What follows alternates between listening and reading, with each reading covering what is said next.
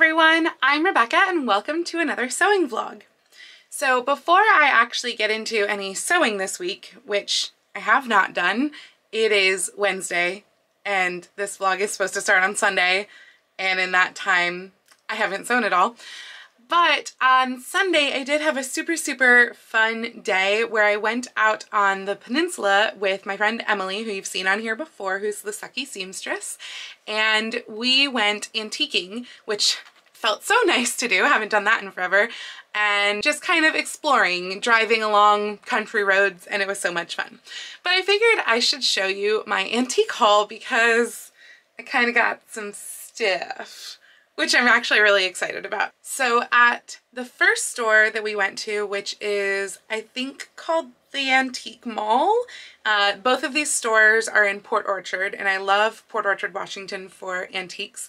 It's just got a cute little downtown with like three or four little antique stores in it, so super fun. And the Antique Mall in particular is just fantastic. And they were having sales in almost every booth, so it was very hard to resist. So the first thing that I picked out was this gorgeous hat. Look at the weaving on that straw. Isn't that so pretty? I'm not great with dating hats, particularly, you know, little shaped ones like this, but I think it's pretty old. Um, certainly no newer than the 50s, but I think it might be a lot older than that just based on the look of the straw.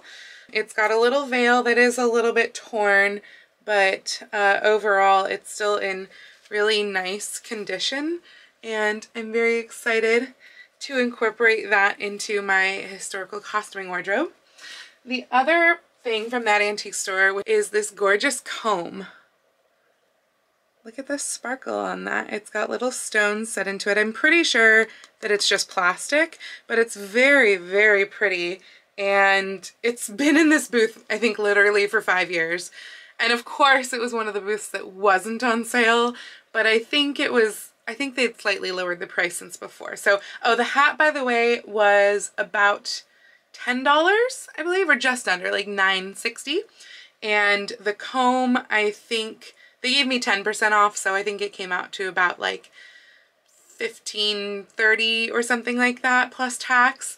But it's so pretty. I'm very excited to use it. Then we went to another antique store across the street whose name I don't know um, and either they are having a going out of business sale because that's what it said on the outside of the antique store or they're having a reopening sale because that's what it said on the inside of the antique store. So I'm really not sure but I bought two things there. One of them is actually not an antique, but I have been needing a new hat box for ages. All the stores like Ross, where, where I would normally get a hat box, have been closed. They had this giant hat box, which is fantastic, and I'm so excited to use it. And it was $9 for this hat box. So this will hold a whole bevy of hats. It's nice and big. So yeah, I'm excited for that.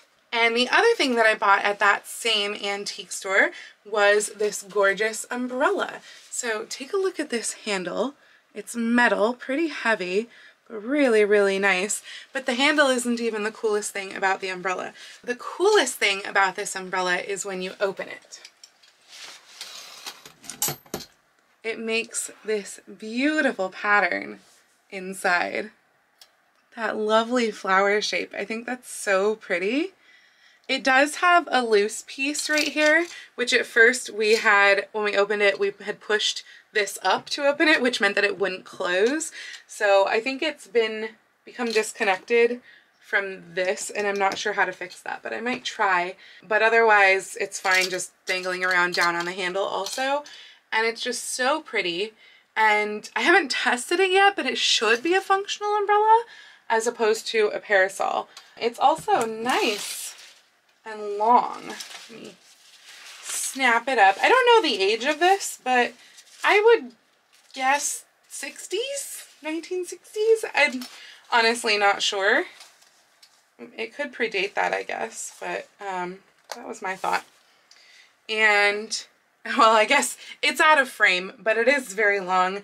Pretty sure it's at least almost, yeah, it's uh, 34 and a half inches. So that's pretty exciting because I, as I've said before, I'm tall, I'm 5'10", and normally if I like have an umbrella or whatever, if I want to like just rest it like a walking stick, I have to be down here all crunched down. So it's nice when I can find a nice tall one. In fact, Emily found a parasol to recover in that first antique store that is so tall. It's probably like 38 inches or something like that wooden handle. So it's that's that was an exciting find. She got a lot of cool stuff. She got some fashion plates too.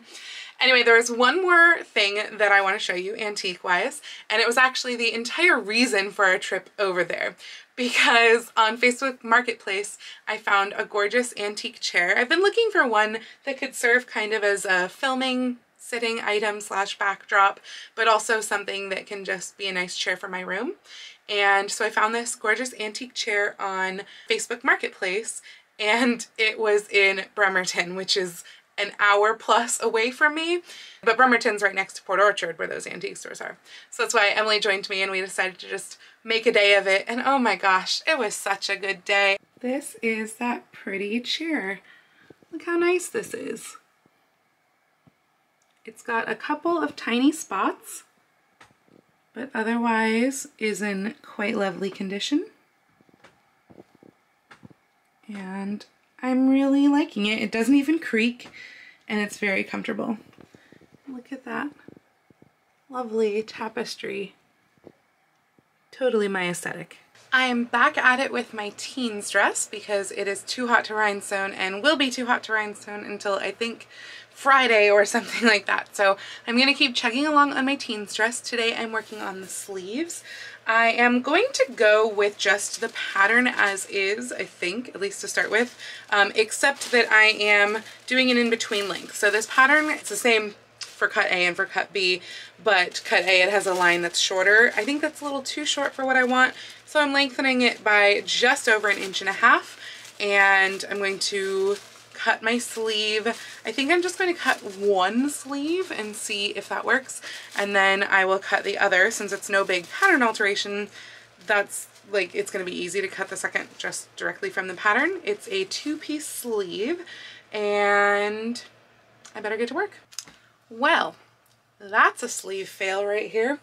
Uh, this sleeve will go up to there, which is clearly not my armpit and um, it's pretty tight through the bicep, though oddly enough the hem fits perfectly. Also, it's too short, I think. It definitely doesn't reach the shoulder seam, and if this is in the right place. So yeah, that was just an overall total absolute fail. I think what's going on here is that the sleeve head is too high and not wide enough. So it's not giving me any of the width of the sleeve. It's just giving me the overall measurement because according to my measurements, the distance around the sleeve opening is what it should be for my armscye. But clearly this is nowhere remotely near working. So, so much for that. Good thing I've got a lot of this fabric because that was just a big old fail. Well, I've gotten a little bit closer with the mock-up this time. I recut the underarm portion of the sleeve and the length is now where I want it, but there's still, the underarm might actually be okay, but the over, overarm, over upper sleeve um, is still having issues because if you notice, what the heck is going on here? This isn't how a sleeve is shaped. The armscye goes like this, so why is the sleeve cut away like this? And no, I uh, somehow don't have this attached backwards. I think this is just a really crappy pattern. So what I've decided is I am going to dismiss that pattern entirely, and I'm just gonna go back to my tried and true pattern that I use for all my Victorians, which is just like a two-piece sleeve and I've made like all of the markings from all of my past sleeves about like, oh, I need to go out 3 eighths inches or 3 quarters inches in some cases. And I am just going to do this sleeve because I know that this typically has about one inch of ease, which is really what I want for like a fitted sleeve. And I'm just going to do this and use the length from the inner sleeve, which is 13 inches, and just use that and make that my sleeve and hopefully, because that's my second mock-up. this is another day, I'm sure you can tell, but it's my second mock-up and so I just want to get this done. Someone please tell me why I didn't just use this sleeve pattern earlier. I have used this sleeve pattern probably dozens of times and it always seems to work well. So why didn't I do it in the first place? Because look at this. It looks like a basically perfect sleeve. So just, you know, for future me's sake, if I'm ever watching this video in the future, I need to use the sleeve pattern. I need to not mess around with any other stupid sleeve patterns. I need to just use this sleeve pattern. So future Rebecca, please listen to yourself because this should work fine. I mean, obviously this is just the initial mock of the sleeve.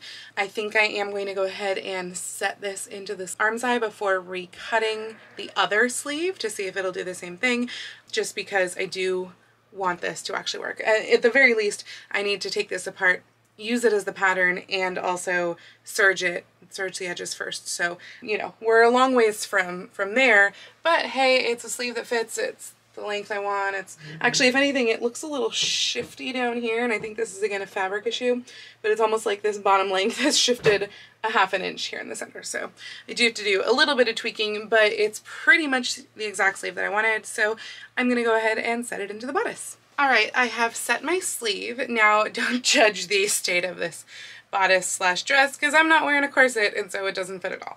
But I set my sleeve and I'm liking what I'm getting down here in the armpit. However, I think starting right about here, my shoulder seam is still just way too wide. So it's hitting like at least a half inch out further than I think I want it to. So I'm going to try and take it out just the top and see if I can change my ease a little bit. I'm hoping that I have enough room left in the sleeve because I did ease in the sleeve head here. So I'm hoping that if I take out a half inch of the shoulder seam that I will be able to fit the sleeve to that point in the uh, in the shoulder and not have to recut any of the sleeve because the rest of the sleeve is still looking really fantastic other than that weird bit where it was dipping here. I'm going to cut that out. But uh, but the sleeve length, sleeve width, everything how it's fitting, the room under the arm, everything is fitting great there. So it's really just the fact that it is too far off my shoulder. I'm going to get a little closer here and you can see it's just sitting off my shoulder. So it needs to come up to probably about there where my finger is for it to be correct. So I'm going to, again, just undo that part and see if I can do it without undoing the whole thing. All right, it is almost correct now. You can see that I have some sort of a weird thing where it's not a straight line going on right here. So I'm just gonna fix that line. Um, that's not a big deal at all, but the rest of it is feeling much better. It definitely feels like it's where it's supposed to be on my shoulder and it looks, I think, where it's supposed to be. And uh, the fit and the movement of my sleeve is great. So this is the winner. Should have started with that pattern to begin with, duh. But I'm going to go ahead and take this out now. My roommate's cat is playing with my serger foot pedal cord. Everyone wants a cat cameo, right? This is Spoons, my roommate's cat. Just liking the lights. Anyway, I am going to go ahead and take the sleeve out now and cut the other sleeve and serge them and finish them and all that sort of thing and put them back in. That way I can start working on the collar. I have to do the collar before I can do any of the finishing binding of the front opening. Um, and the cool thing about the collar is if you have seen the video that I did on that Victorian bodice, Edwardian bodice, turn of the century anyway, that I bought that had really, really weird, ugly lace on it as a peplum and as a collar. I actually saved that lace after I took it off and I cleaned it with that retro clean lace cleaner stuff and it is now pretty, very pretty, lovely vintage lace. I unfortunately don't have enough for both the cuffs and the collar. I'm just gonna have enough for the collar, but of course my hair's in the way. How lovely is that going to be as the collar? So obviously it's got to get cut to length and everything, but I'm really excited to be repurposing this vintage lace as my collar. So once I finish the sleeves, that will be the next step is moving on and doing a collar mock-up. We'll see how far off the pattern piece is for that. Just wanted to pop in here with a quick little update on what I've done on the dress today so far. Today is Friday and it is the evening at this point. I've been watching CoCoVid videos all day and while doing that I did get the sleeves, you can see in the background here, I did get the sleeves attached onto the dress I have also been working at mocking up the collar shape. So as I mentioned before, I'm using that antique lace for my collar and I have enough in the one piece that I can get exactly as you're seeing currently on the form. Um, that said, I didn't want to do just the lace because I thought that would be weird. I want to actually put the lace on a collar. So I am using the pattern that came with the Butterick pattern for the collar shape. But what I've done here is I have lengthened it because that collar is about two inches longer than what this pattern would equal. So in fact, I lengthened it 2.25 inches, uh, including the seam allowance, to get the length that you can see in the background there. And don't worry, I'll show you closer up later. Uh, so now what I'm doing is I realized after mocking all this up that, and I did just mock it up with paper and with lace. I didn't actually mock it up with fabric, so I hope it works. I realized that I don't have any interfacing right now somehow. Apparently I'm completely out of it and or I just cannot find it. It's supposed to go in one specific cubby. All of my cubbies are kind of organized for what type of fabrics they are and it is not in that cubby. It's all either just sew-in interfacing or, which I, is fine I guess, or it is um, embroidery stabilizer. So what I did actually find in there though was a little bit remnant of hair canvas, uh, probably from my 1890s skirts. And so I've decided to use the hair canvas instead of the interfacing just because I like it better than the sew-in interfacing. That stuff feels so plasticky. And if I'm not going to cheat and use fusible, I might as well use the hair canvas. So I have cut out my shape in the hair canvas. I didn't have enough to do all one piece. So there is a seam right there in the center back, which should be just fine.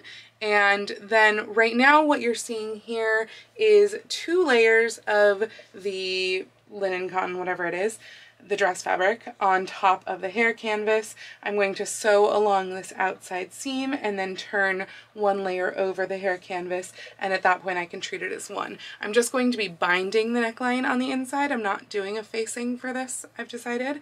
So once I have this all turned. I'm going to serge, probably because I just serge everything, serge to, uh, to kind of seal it up as one, and then I'm going to go ahead and attach it to the collar and bind that whole opening. And I don't know that I will get there today. It's still too hot to do Elsa rhinestones, but I'm hoping that tomorrow I can hopefully spend the whole day on rhinestones. So I would like to get as far as possible on this today. Um, because I don't have enough of the antique lace for the cuffs, and also I realized it would be a little long, honestly, of a lace for the cuffs, I have another vintage lace that is a slightly more taupey color. So I'm using that same Retro Clean lace cleaner that I used on the collar lace, and I'm hoping that it will get it to be a matched color. So I'll find that out probably tomorrow because it has to soak for 24 to 48 hours. So hopefully tomorrow, maybe the next day is when I will find out about the cuffs.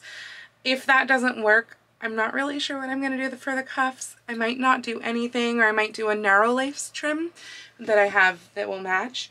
But uh, that is the current plan is to use, it's about a two inch wide, I think, vintage lace trim for the cuffs. So I'm going to keep trucking along on the collar. I don't know if I'm going to do another check-in tonight because it's also, okay, I'm vain, but I hate coming to you guys when I'm like super hot and sweaty and I'm already very hot and sweaty right now, but I'm about to go walk lion and I know I'm just gonna get hotter and sweatier. So that's part of the reason why I don't always do end of the night check-ins because by then I've wilted completely. Um, and yeah, I'm vain. Don't judge me. I'm the type of person who puts on makeup to walk my dog. um, Anyway, so that's why I might not come back to you with more updates tonight. I'm, and I've been focusing so much on CoCoVid that I haven't been doing any other filming, so you're just gonna get these updates and not like filming of me doing anything because I'm watching videos all day. So anyway, I'll come back to you later with more, but it might be tomorrow. So I got my collar all set on yesterday. The lace is sewn into the top of the collar but it is pinned in at the bottom. I'm going to go around and hand sew probably the bottom edge of the lace and in some cases there's like some pleats going on kind of around the back so I'm going to hand sew those little pleats down and that was just done so that it could curve like I needed it to since this is a curved collar and it's just a straight piece of lace. But anyway, as you can see, everything is fitting fantastically. Like I'm super, super happy with all of this right now. So uh, I also finished soaking that other lace, which is tangled around this hanger. And I think it's gonna work well. It's still just maybe a, a hint more ecru than the collar, but it is close enough. And since my sleeve is down here and my collar's up there, I think by the time it gets through that seven inch or so gap, no one's really going to be able to tell that it is a different color. So I haven't decided yet whether I'm going to do a cuff and put the lace on the cuff. I think I'm going to kind of finish everything else on this and then decide on that. But this is the lace that I'm using, so it's another beautiful vintage lace, just like the collar, just a different pattern.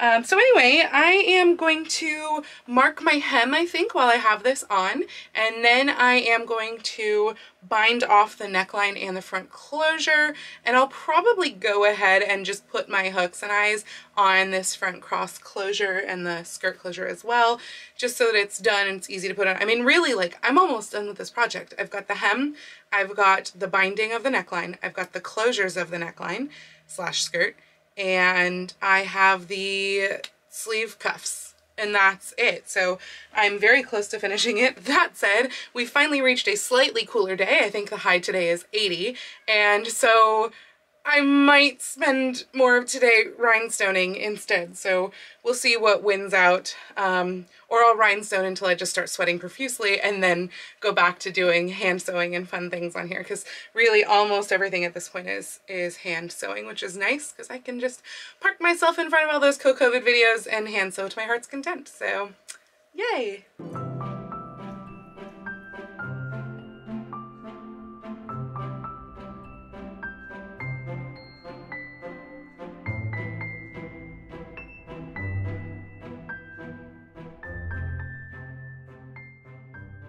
I just wanted to hop in here with a quick update. It has been a few days at least since uh, the last portion that I filmed here and mostly that is because I've been working on Elsa a lot. The weather has cooled down a bit so I've really been trying to take advantage of that and work on Elsa as opposed to my teens dress.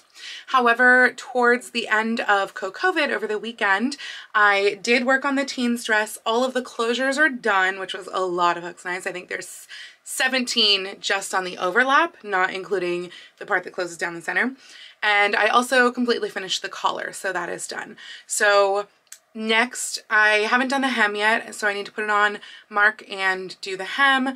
And then I do need to do the sleeve cuffs as well. I think the only other thing that needs doing on the teens dress is that I need to do that sort of like fabric part that fills in the neckline. So all that aside, I will come back in that when I go to try it on uh, to mark the hem. But I just wanted to take a moment to thank you all so much. There are so many new people here watching this channel and I'm so excited about that. I think there are 500 of you that just joined in the last like week or so because of CoCoVid I would assume and that is amazing. Welcome. Thank you so much for being here. It really just filled my heart with so much joy and love to see you all here and see you just, you know, coming and hanging out on my channel. That's so, so exciting. I also, you may have noticed if you've seen my most recent video or any videos in the past few days here that I've gotten monetized. So that was really, really, really exciting. I've been working towards that milestone for quite some time, so you will be seeing ads here. I am trying to go through my older videos and make sure that the ads are not being obtrusive, so if you find that they are at all, please let me know. That way I can go and fix whatever YouTube has automatically put on my videos. To go along with that, I've also decided to start a Ko-fi, coffee, however you pronounce it. And so there's a link to that in the description. Don't feel obligated, but if you want to help support my sewing hobby and my videos on this channel, uh, please go ahead and uh, send me over a coffee on Ko-fi. All right, I have the dress on as you can see, and I am unfortunately realizing that there's just no way really that I'm going to finish it for this week's vlog. So I do apologize. I really wanted to, but then I wound up spending most of the week on Elsa, so what can you do? Mostly I'm realizing that because when I put it on, I noticed that there were more things or remembered that there were more things that I had to do than I thought that I had to do. So I already knew that I had to do the collar filler area. So I decided to use some of the leftover lace from the collar. This was the piece that was around the neckline on that bodice. And I'm going to use this to put on top of some of the turquoise fabric for the collar or the neckline filler area. That's really just going to be a little piece of fabric that I'm either going to snap in or I am going to sew in slash use hooks and eyes. And I haven't decided that yet. I have to look at a few more fashion plates because I'm planning to make a gimp for this outfit. And a gimp is basically a usually long sleeve blouse-ish um, under blouse that went underneath bodices in the 19 aughts through early 19 teens. And it would have fancy-ish sleeves and a fancy-ish neckline area and collar, uh, usually high collared. And then it would be a very plain, normally cotton or polished cotton that would make up the body because you wouldn't actually see the body underneath whatever you're wearing it under. It was also tightly fitted to the body and it was usually cropped. Sometimes it would even not reach the natural waistline, particularly for teens and other times it would just go to the natural waist and then just stop right there. I'm actually thinking that I have two gimps in my collection, so I'm thinking that the next examining an antique uh, video that you're going to get from me will be examining both of my gimps together. So anyway, I am going to make that neckline filler, but if I'm wearing it with a gimp, I don't know that I want the neckline filler. So I don't know if I'm going to make it so that it can't leave the bodice and I just wear the gimp underneath that as well or if I make it so that it is just a piece that I could snap in or I could snap off and leave it home if I'm going to wear the gimp with the bodice. So I have to do a little bit more Pinterest researching and figure that out. But uh, I also decided that for the cuffs, I'm not going to do cuffs. I should say for the sleeve ends, I am not going to do cuffs. I'm just going to finish this with bias tape turned under and then I'm going to put the lace on top of the sleeve like a decoration as opposed to like a cuff decoration. One of the other things that I noticed that I need to fix is that I didn't make this section where these pins are, I didn't make this section tight enough slash in line. I think I cut it on a slight curve. Now, as I've mentioned, this is very slinky fabric and I don't want it on the curve. So I'm just pulling it a little bit tighter. I've got to move over, I think, three or four of my bars so that it will be this new line. So I'm going to have to draw out the new line. I also remembered that I am wanting to make a belt to go on top of this and I'd completely forgotten that. So I'm going to make a belt out of the turquoise fabric. I think it's going to have a bow on it. The one in the pattern has a little bow on it and I like that. So I think I'm going to carry that over from the pattern and I just don't have time to make that belt by the time I finish this week's vlog video. And then I am in the process of pinning the hem. I've pinned up the front of the skirt and I think it's about where I want it, but I have to put on my shoes, double check, and then finish the whole rest of the hem and sew that into place. Today is a nice cool day though, so like the idea of me just hand sewing kind of the whole day and wasting the time that I could be spending on Elsa rhinestones, it just Whereas tomorrow is going to be a very hot day. It's supposed to go up like 15 degrees. So I feel like it just makes more sense to work on Elsa rhinestones today when it's below 70 even, or about 70, rather than tomorrow when it's supposed to be 85. And then the one other thing that I was thinking of adding, because it's on my Extant inspiration, is to have fake buttons down the front. Now, I did buy several cover button type kits, but I don't know yet whether I want to cover them with the turquoise fabric or with like a creamy fabric that would match the lace. I just haven't decided that yet. And it's also entirely possible I'm going to go through my button collection and see if I have, I would need probably like at least a lot of buttons um, to do this instead because part of that is also I don't know if I want the buttons to go all the way down to the hem or if I want the buttons to just go maybe like mid-thigh I have a skirt of this era, 1912-ish, that I made oh, back in 2012, I think. And it is a blue linen skirt and it has buttons and I did not, I think, do the buttons all the way down. I just did them partly. So, and I do like that look.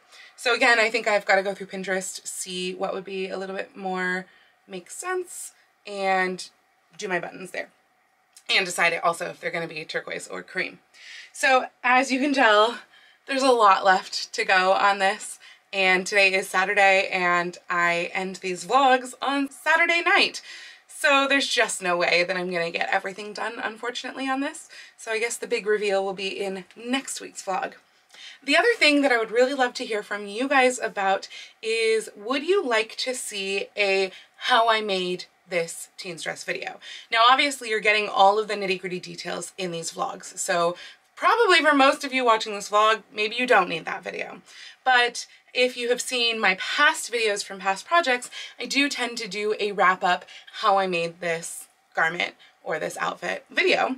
And it's just a short succinct video that really goes over, okay, I used these patterns, I made these changes to the patterns, I used these fabrics, this is what encompasses this in 10 to 15 minutes or less. So please do let me know in the comments if that is something that you would like to see. I do intend to do a getting dressed in the 19 teens video for you because I know you all really like those types of videos and I've already had some questions actually on this corset so I do want to show you what the corset looks like, what the layers look like, how all of that goes. Luckily for this project, the only new part of this is the dress and the belt will be as well. I didn't have to make anything else because I already have done several 19 teens outfits and I already had that all in my costume wardrobe. So I did luck out with all that, but I will at least show you how all of the layers go together. So do look out for that in an upcoming video. That will probably not be until mid to end of September though. So anyway, I'm going to get to work on the hem and the belt and the moving the hooks and eyes and the neckline piece and the sleeves and everything. And we'll see how much of that I will get done today. I will pop back in by the end of the day just to close out this vlog and show you if I managed to accomplish anything else today. I cut a sort of triangular piece that is 8 inches long by 7.5 inches wide out of both the turquoise fabric and a layer of cotton sateen. This turned out to be just a bit big. I could have made it about 7 by 6.5 and it would have been fine. I sewed these right sides together, leaving a gap in the sides to turn them right sides out, clipped my corners, turned it, and pressed it.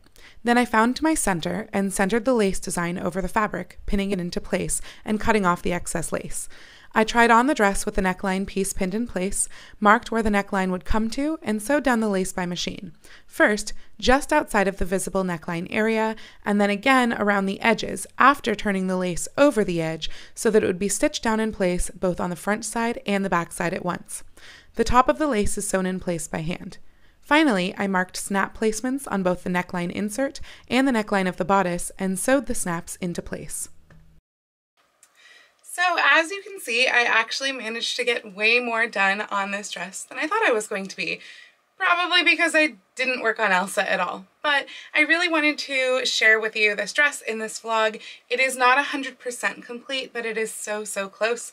And the only reason that it's not complete is because I found out that some of the things that I needed to complete the dress I don't have in my stash. For example, I ran out of snaps while I was snapping in this neckline. I did decide to make it completely removable for wearing with a guimpe.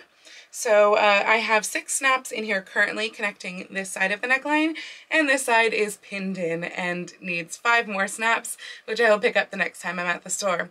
I also went to go look at the belt and realized I don't have any interfacing, so I need interfacing for the belt. I also don't even think I have any of the hair canvas left that I used for the collar, so I definitely need some sort of stiffening for the belt, and I just don't have any. So I'm going to go out and get those missing items this week so that I can finish this dress for the next vlog, and I'll give you a nice big reveal in the next vlog, but I did want to share with you everything that I did on this one. So I did finish the sleeve ends here with the nice vintage lace and I also opted, so I added my buttons here down, all, they go all the way down the skirt to about four inches above the hem. And I opted not to do the covered buttons. I looked through my stash of fabrics for fabric that would match the lace closely and the only fabric that I had that was remotely close to the lace was actually a tiny little like scrap cabbage section of a just off white silk that I believe is from my child's Victorian dress and I didn't feel like the silk really went with this. I also only had 15 of the covered buttons that I wanted to use, and I wound up using 19 buttons all the way down the side. So I'm glad that I didn't opt for that. These buttons are just a plastic button. I think they're slightly vintage, but not very, probably from the 80s or 90s and they are uh, just a sort of off-white plastic with a little bit of like a cut fake cut metal in a um, antique silver. So I thought that they went nicely and actually they add just a little bit of sparkle to an otherwise fairly plain dress. So I'm happy with the choice for these buttons. And also it was a lot easier to sew on 19 buttons that were already made rather than having to make my own 19 buttons. This dress now has, I believe, 19 buttons and like 24 hooks and eyes.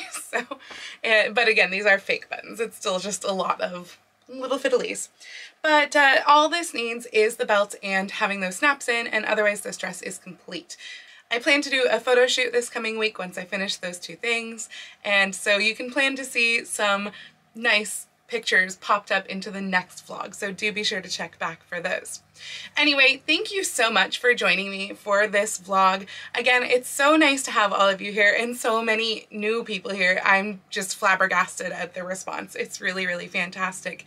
If you did like this video, please go ahead and click the thumbs up icon. And if you'd like to see more videos like this from me, please go ahead and click subscribe and the little bell icon to be notified every time I post a video. I do post videos here on my YouTube twice a week, but I post every day over to Instagram. So please go follow me on Instagram. That's at Lady Rebecca Fashions. And if you'd like to support me in all of my sewing endeavors, you can also drop me a little thank you in my Ko-fi, which is linked down below in the description. Thank you once again all so much, and I will see you in my next video. Happy sewing!